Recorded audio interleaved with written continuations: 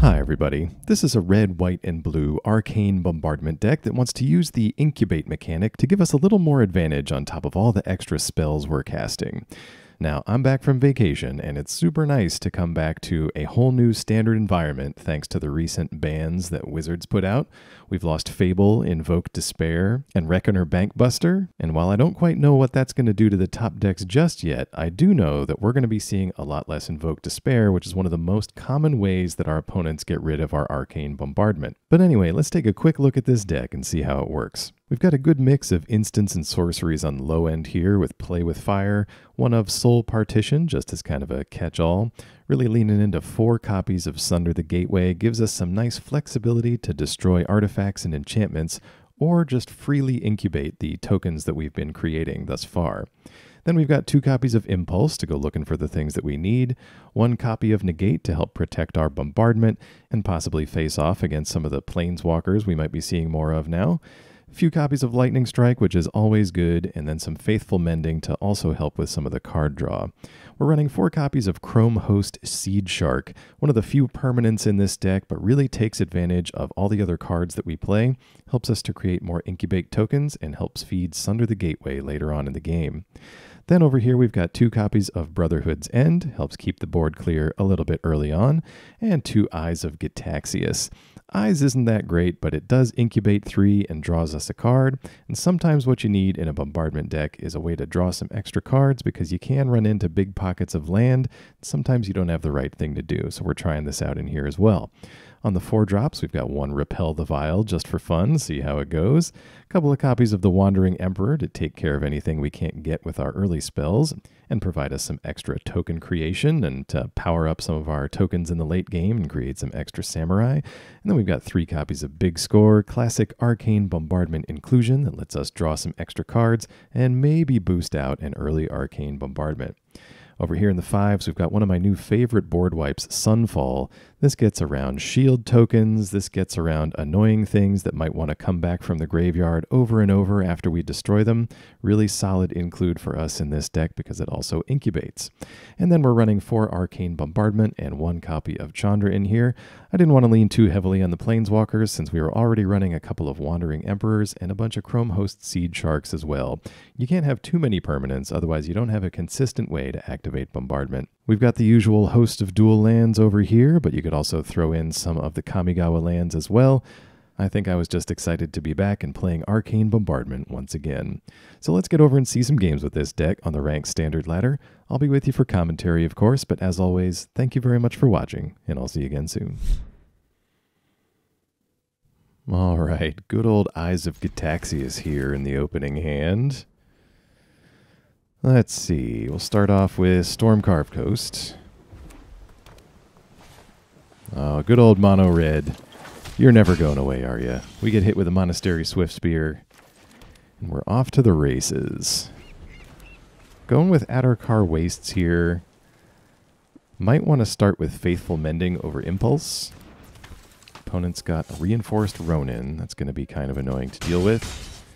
No spell, though, for the Swift Spear, so we just dropped to 16. We can afford to spend a life then and do a little Faithful Mending, and then I can save the um, Impulse. We just get two lands here. Let's get rid of the reef and one of these beaches. Seeing if we can find maybe a Sunfall or a Brotherhood. Hey, all right think we're safe, though. Let's go Eyes of Gitaxias. We're at 17. Incubate helps to give us a potential blocker that's kind of hard to remove. Oh, an opponent's got a Storm Seeker. So they're going to get in with some hasty damage there, drop us to 13. A couple of options here. We could do Brotherhood's End or the Wanderer. Or impulse keep up incubate token. Well, let's Brotherhood's end. Storm Stormseeker enables a lot of hasty shenanigans. Oh, okay. Opponent opts for Mechanized Warfare and Ronin again, so that hits us for 3 instead, and we drop to 10.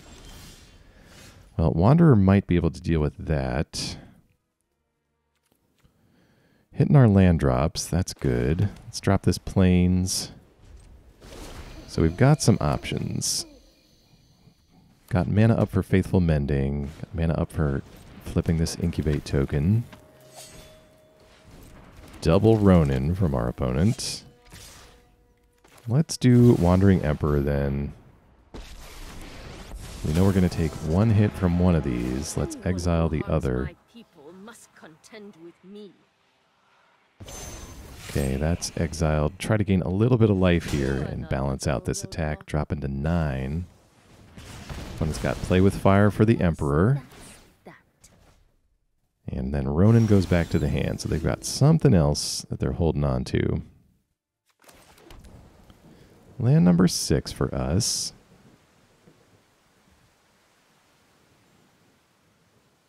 Opponent's got this mechanized warfare. Let's go for Sunder the Gateway. Make another incubate token. And that way we'll have enough mana left over. We can either Impulse or Faithful Mending, or actually activate both of these tokens as blockers, really trying to discourage another attack from this Ronin. All right, there's the Ronin we know about. What else do you have? Swift Spear. That's hasty, but needs a spell to really be a threat. And decides not to attack. Okay. Let's Impulse then. Seed Shark End and Bombardment. Let's go Bombardment. We do have a board wipe down in the graveyard here. And let's transform the 3-3 Incubate token. Can't be hit with a play with fire, so at least reduces the uh, things that our opponent could hit it with. Let's try to get Arcane Bombardment down. We've got Faithful Mending in the grave to activate it if we don't draw any more spells. It's the one tricky thing about including this number of permanents in a deck like this. Okay, opponent digs out play with fire with the uh, bloodthirsty adversary. All right, so that hits the incubate token. And they attack with everything, including another Ronin. Let's... Alright, let's get rid of the Swift Spear. Our opponent's empty-handed. think this makes sense. We've got a Wandering Emperor in hand and also a Faithful Mending. Rather than play this land, let's Mending. See what Bombardment gets us. Alright, uh, Sunder the Gateway. That's just going to make a token and flip one. We'll draw two, gain two, discard, Island and Eyes of Gitaxias. We do need some mana to play this Wandering Emperor as a little bit of a safety. okay. Well, good game then. All right, let's keep this. We're starting off with a nice Seed Shark hand. We already see Sunfall. Question is, what land to lead off with? Let's go Sundown Pass. Opponent decides that's a great idea. Let's get Mountain going, and... I mean, we might as well. Let's Sunder the Gateway, make an Incubate token, and pretend we just played a Grizzly Bears.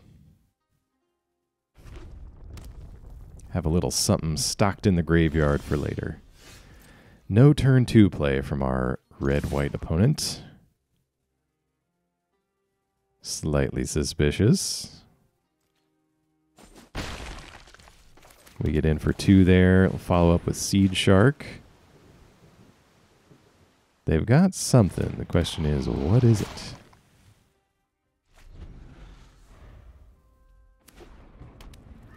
Opponent with land number three into mechanized warfare.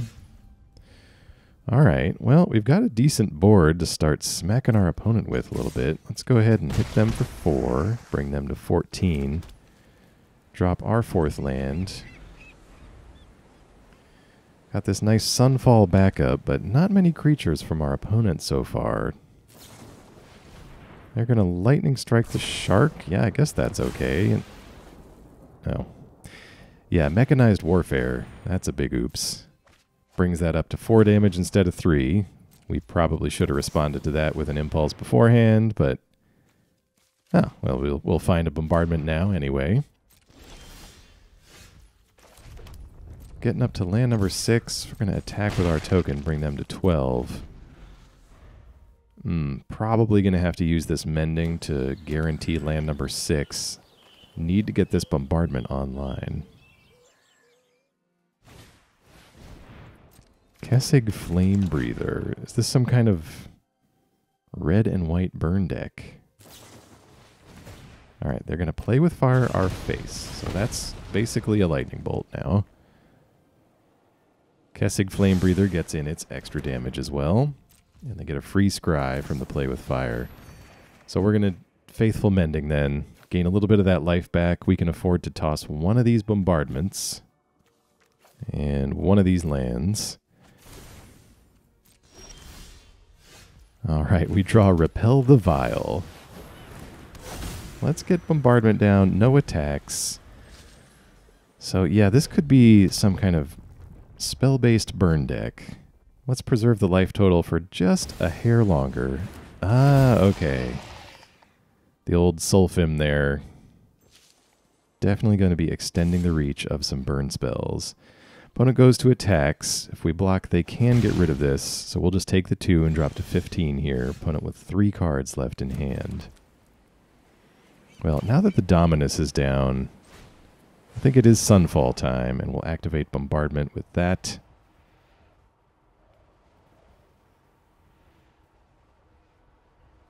Opponent thinking it over here, probably hanging on to an instant. Alright, we pick up Faithful Mending from the graveyard. Not the best, given our current hand. Yeah, well, let's discard the land and the Seed Shark. want to keep this spell to keep the bombardment happening. Sunfall goes off. You'll incubate three. And just keep some mana up. Flip this token over and keep attacking. Opponent with a Chandra dressed to kill. See what we do here. Might as well give up already. They're going to plus it and add one. Thanks to the Warfare, that hits us for two damage as well. They've got the Thundering Raiju. Sure. Goes to attacks. That becomes a 4-4, so we can't really profitably block that. Uh, let's flip over our 3-3 Incubate token. Draw for turn. Definitely repel the Vile to exile the Raiju. Trigger Bombardment here. Let's sunder the gateway and get rid of mechanized warfare and faithful mending. See if we can't exchange this land for something else. Nope. Okay, opponents had enough. Good game. All right, keeping it going here. We finally got a nice Seed Shark in the opening hand. It's not the first one, but it's always nice to see him. Opponent leads off with a uh, Hopeful Initiate. And then immediately drops a Forest. I love a new meta, trying to figure that out. So they drop the uh, human-friendly creature from Aftermath. Gives everybody ward and a little bit of power boost. I think what we're going to do is drop Deserted Beach and hit that one with a play with fire. We will need to get rid of this initiate eventually, but there's nothing else to attack with it so far, so we can at least keep it small. Ah, opponent's got a Skrelv for us, I see. We're going to take one from this attack, drop to 17. Opponent just passes it on back. Well, land number three, we're going to go straight for the Seed Shark. should be a nice blocker. At least demands a little bit of removal or some other creativity from the opponent here. All right. Looks like Adeline, they're going to try to go around it. And they pass it on back. Land number four from us. Pass it on back to the opponent here. As they've got Brutal Cathar. Okay, well, we need to draw a land then for this Sunfall. We can get our shark back and take care of this board. Initiate is going to train. Adeline is going to make a creature. So we will take a nice chunk of damage here. Well, we could Wanderer. No, I think we need to guarantee the land. Let's go Faithful Mending. Would have been nice to have the Wanderer on board before we wipe it. But let's discard Soul Partition and Brotherhood's End. Go straight for the Sunfall. Excellent. So we're going to incubate five on top of that and get our shark back. Not shark vac. We get our shark back. To follow up next turn, we've got Big Score and Wandering Emperor. All right, opponent spends a Boseiju. Getting rid of our incubate token. Doesn't want to be hit for five. And they've got a Melira to follow that up with. All right, well, we pick up a land here. We're at 10. Let's just pass it on back. All right, Coppercoat Vanguard once again brings Melira up to a 4-3. Opponent can attack with that. Let's big score in response.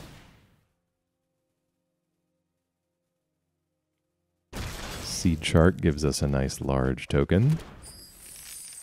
a Couple of treasures off of the big scores. We get Faithful Mending.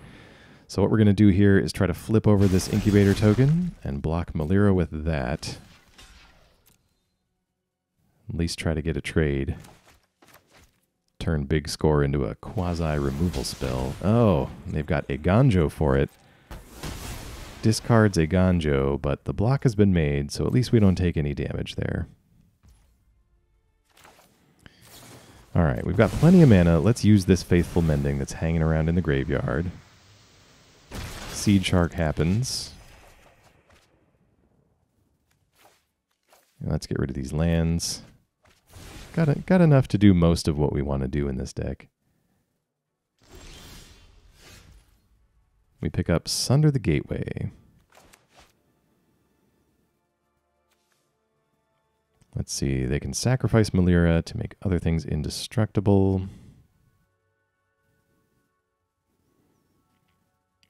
Hmm. Yeah, thinking about this a little bit, it might be worth main phasing Wanderer here.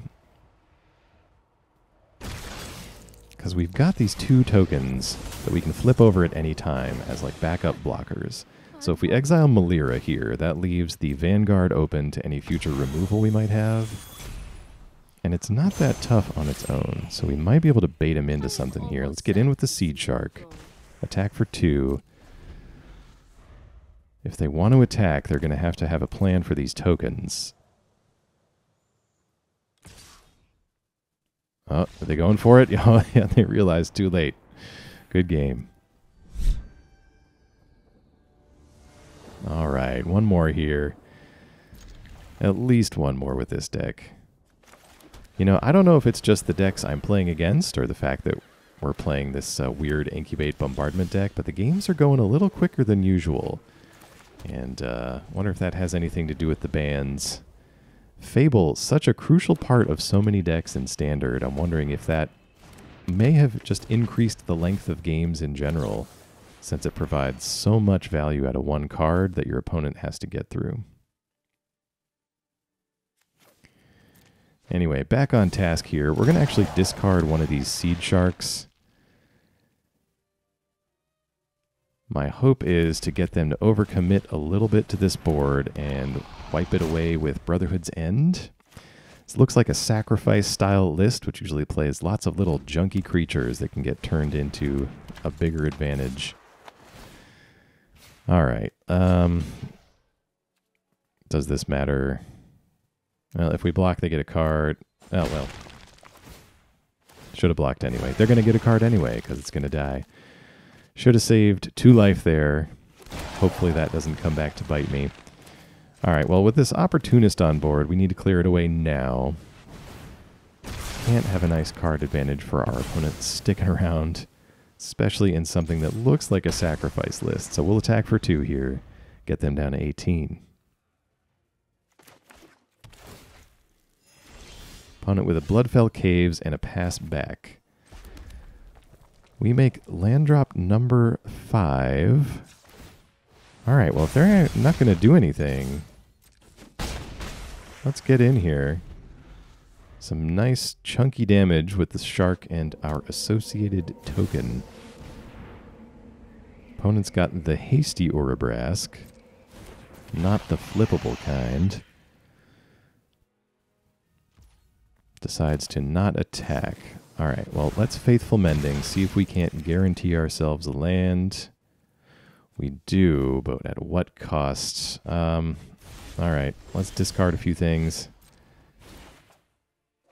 Gonna keep the Sunfall to deal with their creatures, but Chandra, I think we gotta go Chandra first. Let's do four to both Urabrask and our opponent's base. We've still got a nice chunk of damage here, and we can threaten lethal next turn. That all right. Opponent couldn't stabilize. Good game.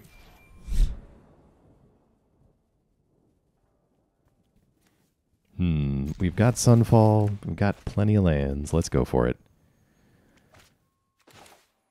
I think Deserted Beach first. Okay. Plenty of untapped lands anyway. We'll go ahead and play this mountain. Options to Lightning Strike or Impulse. As opponent plays Giada Font of Hope. Well, we've got the removal. We're going to use it on that card. Bad things happen if you get to uh, stick around with old Giada there. Negate the draw for us. Opponent with land number three. Passes it back, so we're going to impulse at the end of their turn. Well, I'm going to take a land, I think, rather than a second Sunfall.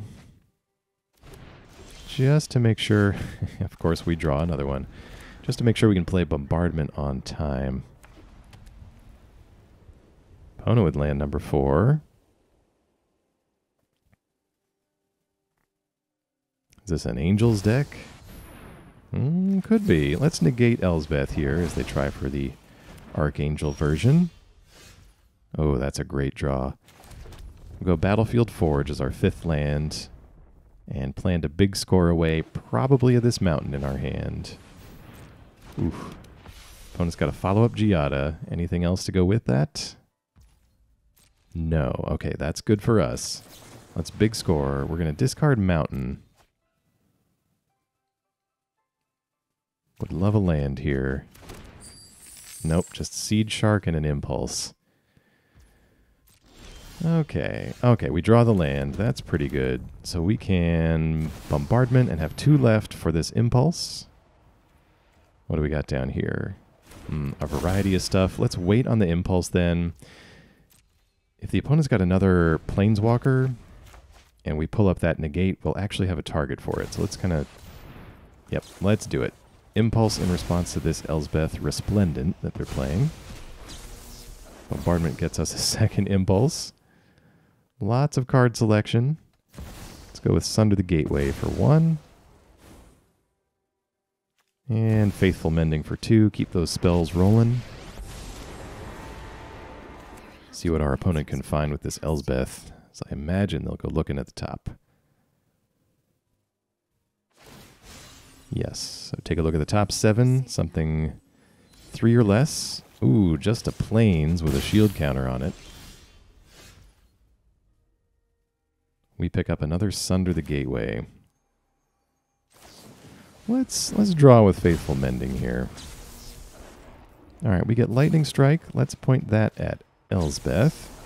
We're going to do another Impulse, and I'll take a Play with Fire. That's pretty great. We draw two here, get a Brotherhood's End and a land. Let's discard one Sunder and this land.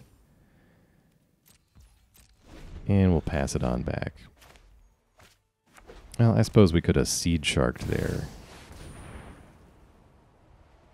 Ah, but opponent's got Sanctuary Warden for us, so actually that might not have worked out. Um, Sanctuary Warden actually going to be a great target for this Sunfall. Totally ignores the shield counters on our opponent's stuff. So we get hit for two from Giada here. Let's point this play with fire at our opponent's face if we know we're going to be board wiping. Pair that, that with a lightning strike, and we'll do these two impulses, see what else we want. Wandering Emperor, great for helping to finish off a game, and our selection of the finest lands from the top of our deck. Alright, well that's 5 damage to the opponent's base. We're going to leave Soul Partition on top. Draw that for turn. Yeah, let's go ahead and Sunfall here. We get Sunder the Gateway. I suppose that doesn't matter. That's going to go away anyway with the Sunfall, but that's alright. We're going to Impulse. We're going to point the Lightning Strike at our opponent. And Impulse number two. We'll take a big score. Hit the opponent for three, dropping them to 12. Grab another Lightning Strike. Looks like we are on the burn train for finishing this game. And at least we get to recycle the Incubate token we just made into that Sunfall total.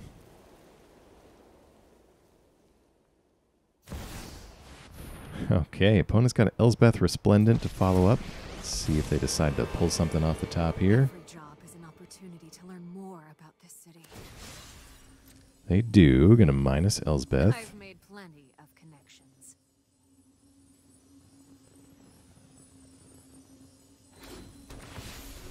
Ah, Inspiring Overseer. It's gonna draw them a card, gain some life. Comes with a free shield token.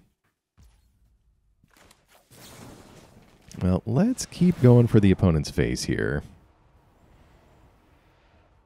Let's try to hit them with a lightning strike, activating bombardment. Looks like they may have something to do in that hand, but they're not showing it. All right. Let's see here. Sunfall. To get rid of the Overseer, we're going to Impulse. Take a look at the top. We're going to Lightning Strike. Elspeth, I believe. And we'll just leave this other Sunder behind. Although I'm sure, yeah, we probably we probably could have done that anyway. Ooh, angelic intervention. Well, then let's grab a play with fire with this impulse. Ooh, and a Chandra. Chandra loves the burn plan. Okay, we've dropped our opponent to 10. Their Elspeth is still around, but we may actually have enough burn between Chandra and these spells under bombardment to finish them off. So let's get Chandra down. Actually, let's add mana with Chandra. And that way we'll have mana left to... Um, oh, all right. Opponent sees it coming. Good game.